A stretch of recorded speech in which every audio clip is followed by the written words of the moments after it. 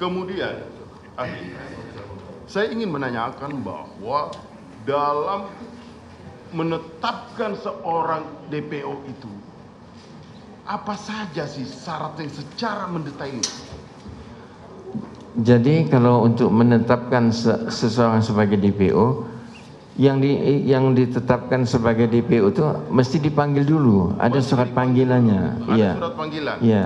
Yang saya mau tanyakan, boleh nggak seumpama nih, ada seseorang ditetapkan sebagai DPO, katakanlah dia ditetapkan sebagai DPO 2010, Ya. ya kan? Tapi dia tidak pernah ditetapkan sebagai tersangka di 2010, tapi dia ditetapkan tersangka itu di 2015 dan tidak pernah disampaikan kepada yang bersangkutan bahwa dia itu adalah DPO ataupun juga dia tersangka. Dia juga tidak pernah menerima surat panggilan. Apakah penetapan-penetapan dengan cara-cara penyidikan seperti ini bisa dilegalkan oleh hukum? Pendapat Tidak.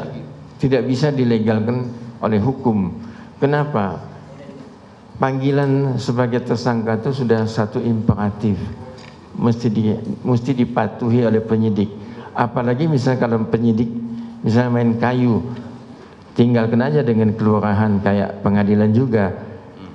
Sudah sudah kewajiban ah titip di kelurahan aja. Dan itu salah. Sama kayak kalau misalnya dalam gugatan cerai itu nggak datang main kayu penggugatnya, panggil nggak nggak tahu lagi di mana alamat pihak tergugat. Tidak itu iya sama. Oke, saya ingin sedikit masuk kepada yang berkaitan dengan penyitaan.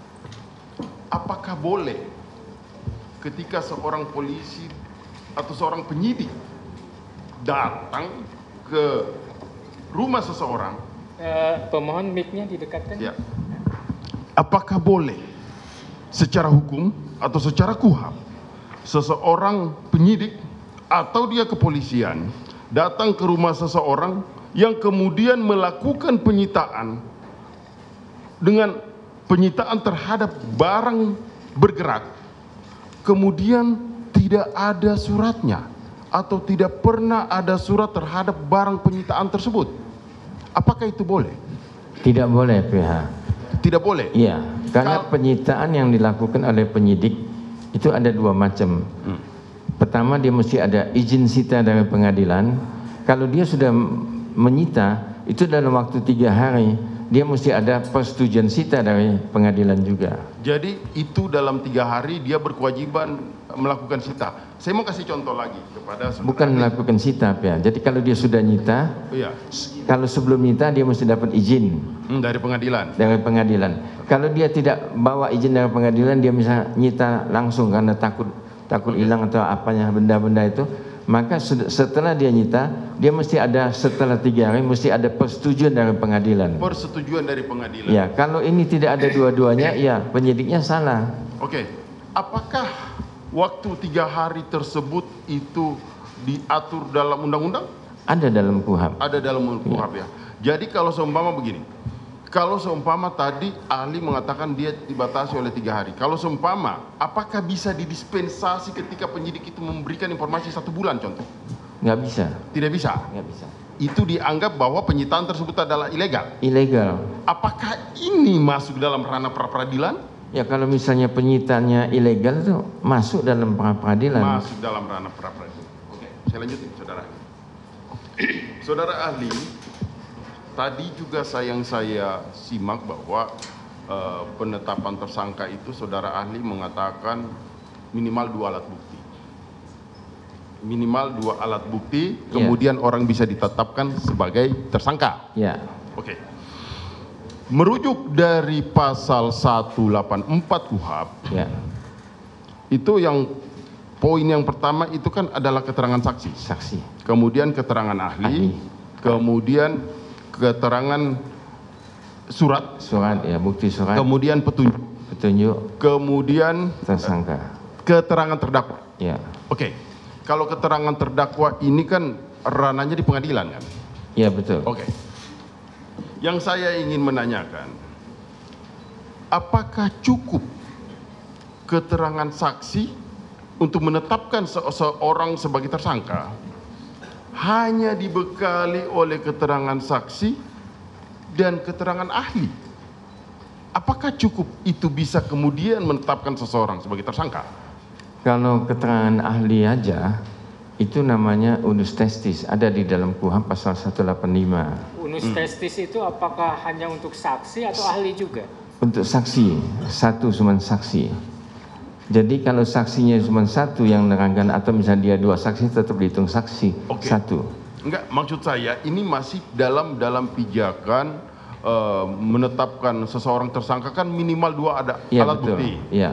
Apakah dua alat bukti tersebut cukup saksi saja Ya. dan keterangan ahli saja? Apakah itu bisa dikualifikasi udah udah memenuhi kriteria? Sebetulnya di dalam di dalam KUHP itu yang diperlukan 184 dua alat bukti yang sah. Iya. Ya. Dua alat bukti. Makanya saya katakan bahwa pijakannya pijakannya seorang penyidik dalam menetapkan tersangka itu kan harus minimal dua alat bukti yang sah. Ya. Iya kan? Kalau alat buktinya itu kemudian hanya saksi saja dan ahli saja, apakah itu relevan untuk menetapkan seseorang sebagai tersangka? Mestinya ada alat bukti yang lain sebagai Ya, yang pokok. misalnya gini, penyidik ini udah punya dua nih, menurut penyidik, Ya. saya punya dua nih. Dua itu apa? Saksi dan ahli. Ya. Tadi saudara ahli mengatakan eh, harus ada dua alat bukti yang berbeda. Ya, betul. Saksi dan ahli itu dua alat bukti yang berbeda atau sama? Saksi dan ahli. Ahli itu ya dia lebih pokok menjelaskan masalah hukum acara. Enggak, bukan masalah itunya Pak. Ya. Termasuk alat bukti bukan? Ya, termasuk di dalam situ. Beda enggak saksi dan ahli?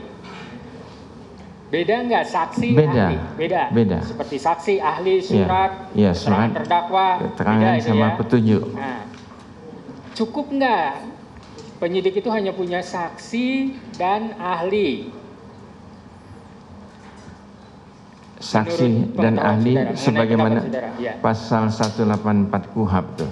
Ya. Sebetulnya kalau kita nilai yang apa yang diterangkan oleh saksi dan apa yang diterang oleh ahli itu belum cukup mestinya. Mestinya cukup. ada ada petunjuk yang lain lagi. Apa itu? Harusnya apa? Ada alat bukti yang lain. Nah, Ya. oke. Ada petunjuk tadi. Ya. Terus misalnya penyidik itu menyimpulkan keterangan saksi dan keterangan ahli bersesuaian. Mereka menyimpulkan itu ada petunjuk. Apa bisa seperti itu? Mestinya ada gelar lagi yang mulia. Ada yang baru lagi. Bukan ada digelar tuh sebagaimana Perkap 16 tahun 2019 Perkapnya Oh, Kapolri. perkara. Ada gelar tuh. Oke, dari gelar perkara pun disimpulkan seperti itu. Gimana? Ya kalau gelar perkara itu mestinya tersangka atau kuasa hukumnya mesti dipanggil untuk membela diri yang mulia. Iya, enggak ini bukan terkait itu Terkait keabsahan untuk penetapannya itu, Pak. Ya kalau sudah ada gelar ya Sah atau tidak? penetapan dianggap sah kalau sudah ada gelar. Dianggap sah kalau ada sudah ada gelar perkara, Ya. walaupun alat buktinya saksi, ahli dan petunjuk dari keterangan dua alat bukti itu. Iya. Oke, lanjut silakan. Oke, lanjut.